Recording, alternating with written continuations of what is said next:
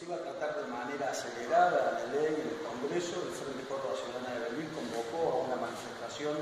en la plaza aquí del centro, frente a la municipalidad, que tuvo la adhesión de la mayoría de los gremios locales y de vecinos particulares. En ese momento nosotros elaboramos un comunicado donde eh, repudiamos la violencia.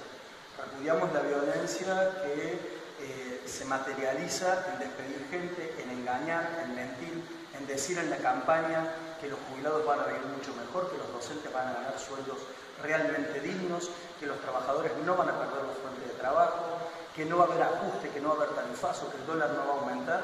y automáticamente al asumir este, romper y quedar en evidencia con todas esas mentiras y esas estafas de campaña.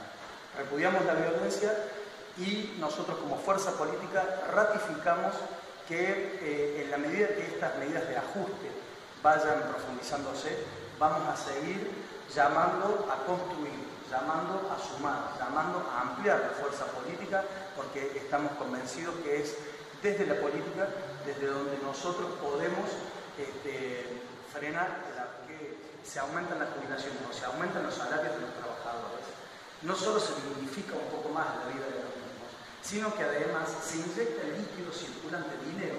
en un sector de la sociedad que no acostumbra ni a lavar plata en, Panamá, que no acostumbra este, a invertir afuera, sino que así como cobra haber jubilado o el salario, lo inyecta el 100%